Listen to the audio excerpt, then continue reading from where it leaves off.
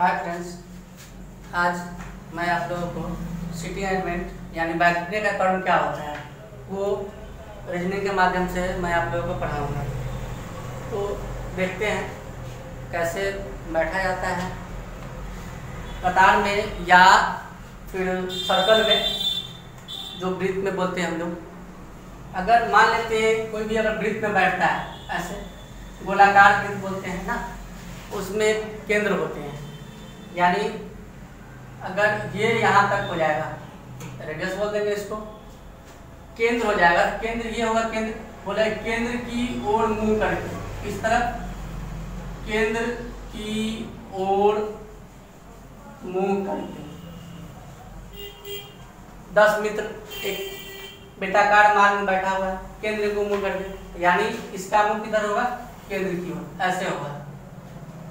तो इसमें दो चीज़ देखना पड़ता है। दाया और बाया, यानी राइट और लेफ़्ट अगर कोई यहाँ से बैठा हुआ इस तरफ़ से, मुँह करके, केंद्र की ओर इसका राइट किधर हो जाएगा? तो नीचे वाले भाग इसका दाया हो जाएगा। इधर बोलेंगे हम लोग, दाया।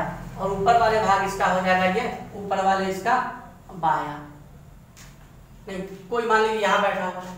अगर कोई यहाँ बैठा हुआ है तो ऐसे बैठा हुआ मैंने, मान लीजिए कि हम खुद बैठे हुए इस पर तो मेरा दाया इस तरफ़ यानी इधर हो जाएगा मेरा क्या हो जाएगा इधर? दाया हो जाएगा, और इधर क्या हो जाएगा? बाया हो जाएगा। अगर कोई कहे कि ना इस तरफ़ से इधर बैठा हुआ है, यानी हम बैठे हुए इस पे तो मेरा दाया ऊपर की ओर, इधर हो जाएगा दाया और इधर हो जाएगा बाया। कोई अगर नीचे से केंद्र को मुकर बैठा हुआ यानी इस तरफ़ से, ऐसे केंद्र की ओर, नीचे से इस तरफ़, इधर हो जाएगा इसका दाया और इधर हो जाएगा इसका बाया। तो इसी पे हम लोग आज क्वेश्चन सीखेंगे कि क्वेश्चन कैसे बनाया जाता है।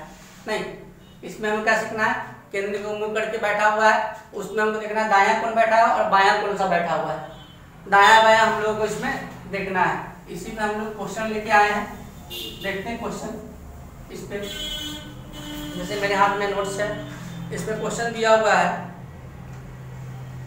छ मित्र A B C D E F केंद्र की ओर मुँह करके बैठा हुआ है। और दे रहा है इसमें कि ई डी के बाई ओर है। फिर दे रहा है इसमें सी ए और बी के बीच बैठा हुआ है। फिर दे रहा है इसमें एफ़ ई और ए के बीच बैठा हुआ है। तो क्वेश्चन तो यहाँ आ गया। हमको इसको क्या करना है? केंद्र को मुँह करके वृत्ताकार मार्ग में है। तो हमको केंद्र बनाना है यहाँ पे। हम लोग यहाँ पे केंद्र बना लेंगे। और केंद्र कर दिए यहाँ पे। यहाँ वृत्त बना के केंद्र बना दिया ना। और कह रहा है कि वृत्ता मार्ग वृत्ताकार मार्ग कितना है? छह गो है। कौन कौन है? A B C D E F छह मित्र है। ये छह मित्र हो गया।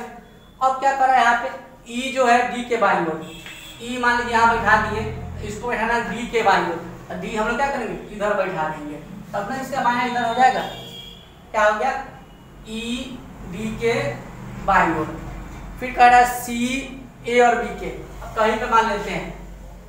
कहीं पे मान सकते हैं। सी सी ए और बी के बीच में बैठा हुआ। लेकिन फिर नीचे कह रहा है इसमें एफ़ जो है ई e और ए के बीच में। एफ़ जो है एफ़ जो है ई e और ए के बीच में। और सी कह रहा है कि सी जो है ए और बी के बीच में। सी जो है ए और बी के बीच बैठा हुआ है। अब देख लीजिए, इसमें छह मीटर बैठ गया। केंद्र की ओर सबका मुँह किधर है? केंद्र की ओर। ये बैठ गया।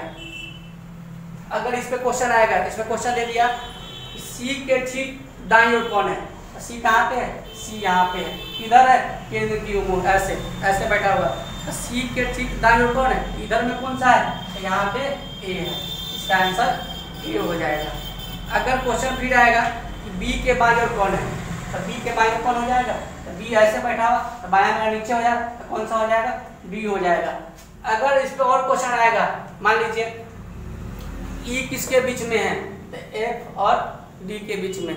या ई किसका पड़ोसी है? तो एफ़ और डी का पड़ोसी है। क्लियर या क्वेश्चन पूछ सकता है कि डी के दाई और तीसरा कौन है? तो डी के दाई डी यहाँ बैठ गया। दाएँ किधर एक दो, तीन।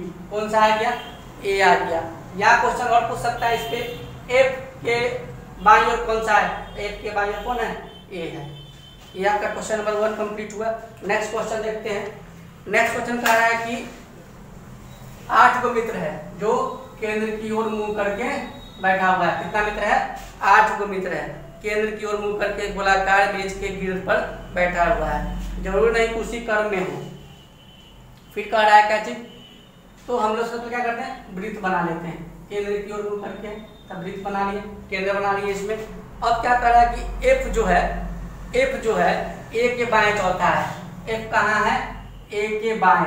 ए इधर से बैठा करना चौथा होगा। एक, दो, तीन, चार। एफ़ जो है ए के बाएँ चौथा है। एफ़ यहाँ बैठा दिए हम लोग बाया ऐसे घूम के तो चौथा हो गया।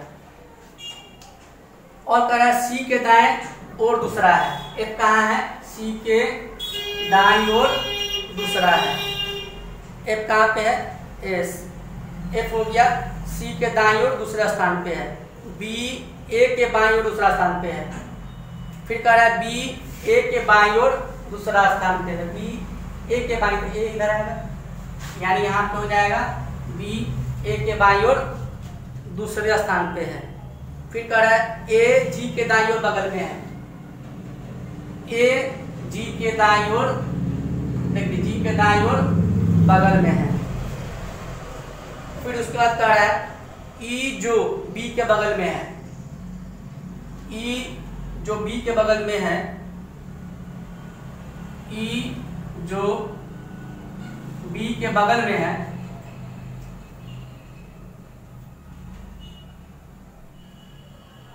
बगल में नहीं है, यानी यहाँ ना होगा। कहाँ हो सकता है? पूरा मेरा क्या था पूरा मेरा आठ होता था एक, दो, तीन, चार, पाँच छ सात। और ये को यहाँ पे हो जाएगा आठ, ना? ई e जो बी के बगल में यहाँ पे नहीं है तो ई e यहाँ पे हो जाएगा। तो बचा क्या? ए बी सी डी बच गया। ई e जो बी के बगल में नहीं है डी के बाएँ चौथा है। हम यहाँ पे क्या करते हैं? डी को बैठा देते हैं। एक, दो, तीन, चार। बाया चौथा हो गया, बच गया क्या? जी, इस पे डाल दिए। मेरा आठ को बैठ गया। अगर इस पे क्वेश्चन आएगा ई के दाएँ दूसरा कौन है? तो ई के दाया। दाया कहाँ? इधर हो जाएगा बाया, और इधर मेरा दाया। क्या हो जाएगा यहाँ पर? जी हो जाएगा ना? फिर फिर क्वेश्चन आया इस पे। बी का पड़ोसी कौन है? तो बी का पड़ोसी कौन है? जी और ई जी और डी अगर क्वेश्चन और आएगा सी के बाई और तीसरा कौन है? सी के बाएँ और तीसरा सी बाया एक, दो, तीन, तीसरा कौन हो जाएगा? जी हो जाएगा। आपका दो क्वेश्चन नंबर दो कंप्लीट अब नेक्स्ट चलते क्वेश्चन, तीसरा नंबर क्वेश्चन पे। तीसरा नंबर क्वेश्चन कह रहा है P Q R S carrom खेल रहा है। कैरम मतलब गेम होता है। गेम खेल रहा है। गेम कैसे बढ़ता है? तो को सामने सामने होता है ना, एक दूसरे के सामने, यानी चार प्लेयर का गेम होता है। चार को बैठ गया इसमें P Q R S carrom खेल रहा है। पी एवं आर पड़ोसी है। कह रहा है कि पी और आर ये आमने सामने में है। और क्यू और एस ये भी कह रहा है कि आमने सामने। कैरम इस टाइप का होता है आयताकार होते हैं, ऐसा कैरम होता है तो कैरम खेल रहा है। उसका कह रहा है कि एस आर के दाई ओर है। एस जो है आर के दाई ओर जिसका मुँह पश्चिम की ओर है। एस जो है आर के दाई ओर है। एस का मुँह पश्चिम की ओर है। डायरेक्शन होता है, इधर उत्तर होता है इधर दक्षिण होता है इधर पूरब होता है इधर पश्चिम होता है। तो बोल है कि एस आर के दाई ओर है और मुँह किधर है?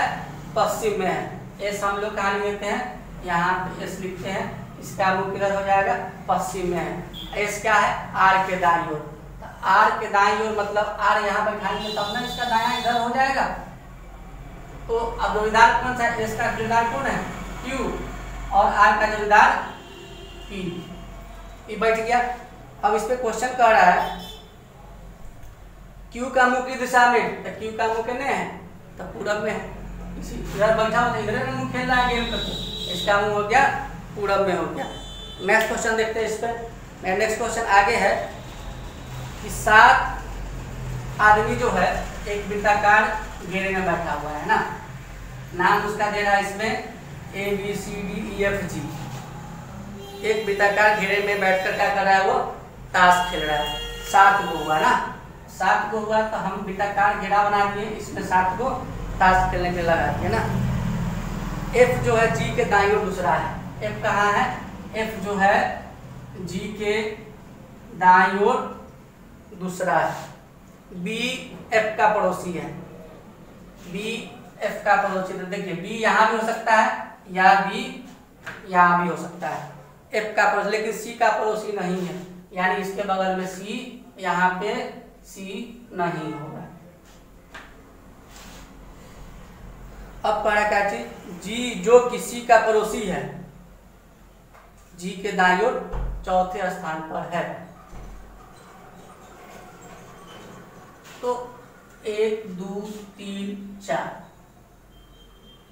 अब यहाँ लिख देते हैं। जी लिख देते हैं। यहाँ भी नहीं होगा, ना? और हमारा जी दाई और चौथे है। बी एफ़ का पड़ोसी है। लेकिन सी का पड़ोसी नहीं है। जी जो किसी का पड़ोसी है सी का पड़ोसी है जी के दाई ओर। जी जो किसी का पड़ोसी है। जी जो किसी का पड़ोसी है।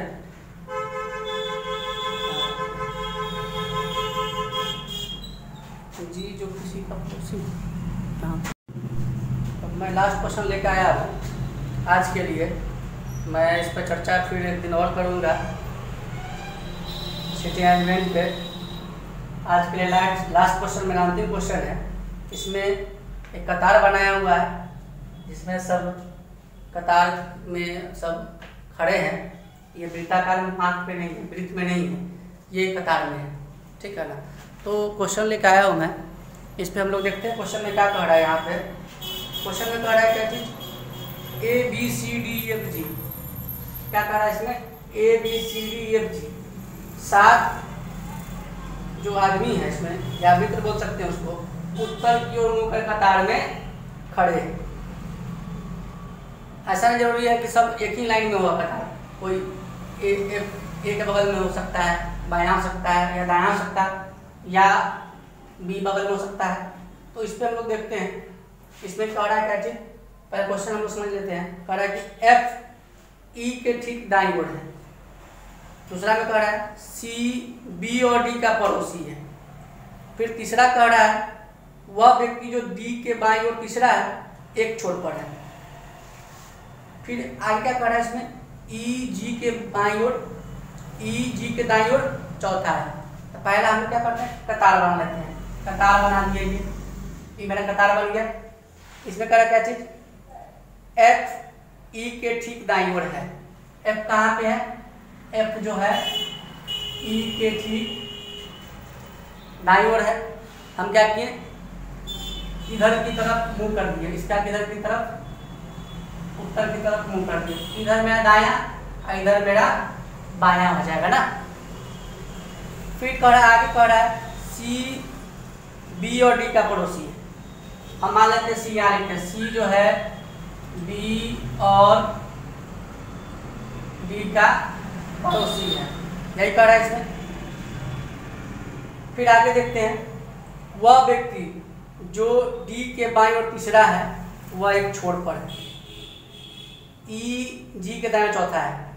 ई e कहाँ है? जी के ई e, जी के दाएँ ओर। एक दो तीन चार। यहाँ पे क्या लिख देते हैं? जी ई कहाँ है? जी के दाएँ ओर चौथा ना और कहाँ है? दाया चौथा है। उससे पहले देख रहे थे हम लोग वह व्यक्ति जो डी के बाई और तीसरा है, अगर डी यहाँ बैठाएँगे मान लेते हैं यहाँ बैठा दी तीसरा एक दो तीन क्या है ये? अंतिम छोर पर। जब डी यहाँ बैठाएँगे उसके बगल में कौन बैठेगा? बी बगल बैठेगा ना? बी नहीं, सी बैठेगा। उसके बगल क्या बैठेगा? जब डी यहाँ बैठ गया, ध्यान से क्या हो जाएगा? बी हो जाएगा। क्या हुआ? छः को हुआ। ए वो बच गया। ए इधर बैठा दीजिए। कौन बच गया? तो ए बच गया। ना? ए हम लोग इस साइड में, दाहिने साइड में, सबसे लास्ट में और जी को बाएँ साइड में सबसे लास्ट में बैठा दिए। क्वेश्चन कह रहा है इसमें ए कौन सा स्थान पे है? एकदम कहाँ है? एकदम दाई है। कहाँ है? एकदम दाई है। दूसरा क्वेश्चन है बी का पड़ोसी कौन है? तो बी का पड़ोसी कौन है? तो जी है और सी है। ये आपका क्वेश्चन कंप्लीट हुआ। एक क्वेश्चन इसमें थोड़ा छूट गया, थोड़ा सा गलत हमको लगा है। तो बीच में हमको थोड़ा सा रोकना पड़ा था। और पुनः क्वेश्चन लेके आया मैंने क्वेश्चन और। और अगले वीडियो मैंने बनाऊँगा, मैं बनाऊँगा, दो या तीन, या एक दिन में जल्दी से मैं बनाऊँगा। तो उसमें मैं आप लोगों को इसके बारे में और भी चार, पाँच, दस क्वेश्चन लेके आऊँगा।